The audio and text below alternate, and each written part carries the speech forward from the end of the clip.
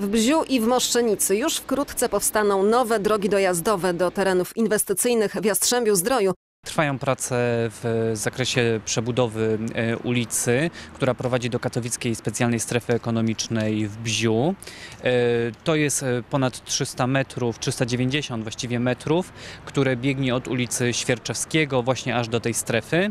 Mm, Ponad 200 tysięcy złotych otrzymaliśmy od, od katowickiej strefy, a w sumie całość robót wyniesie ponad 700 tysięcy złotych. Zakres prac przy skrzyżowaniu z ulicą Świerczewskiego obejmuje rozbiórkę starej nawierzchni, budowę kanalizacji deszczowej, zabezpieczenie istniejącego wodociągu, wykonanie nowej konstrukcji, przebudowę starego chodnika. Każda droga, która prowadzi do, do strefy ekonomicznej jest ważna. Jeśli chcemy gdzieś znaleźć inwestora, to, to trzeba, trzeba mieć po prostu dobrą drogę, żeby był po prostu dobry dojazd.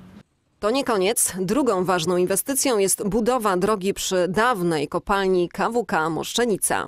Tam akurat e, został wybrany wykonawca projektu. E, Dokładnie nazywa się to ten projekt Budowa dróg publicznych wraz z uzbrojeniem na rewitalizowanym terenie byłej KWK Moszczenicy w Jastrzębiu Zdroju odcinek FJ.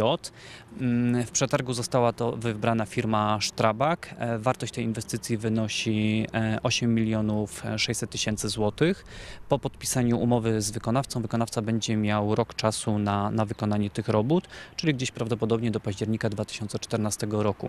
Mm, Tam zostaną wykonane następujące prace. Zostanie wybudowana droga, ulica rozwojowa od ronda na terenie KWK Moszczenica do ulicy Chlebowej, a także zostanie przebudowana ulica Chlebowa od, na odcinku od ulicy Rozwo- Rozwojowej do ulicy Wyzwolenia.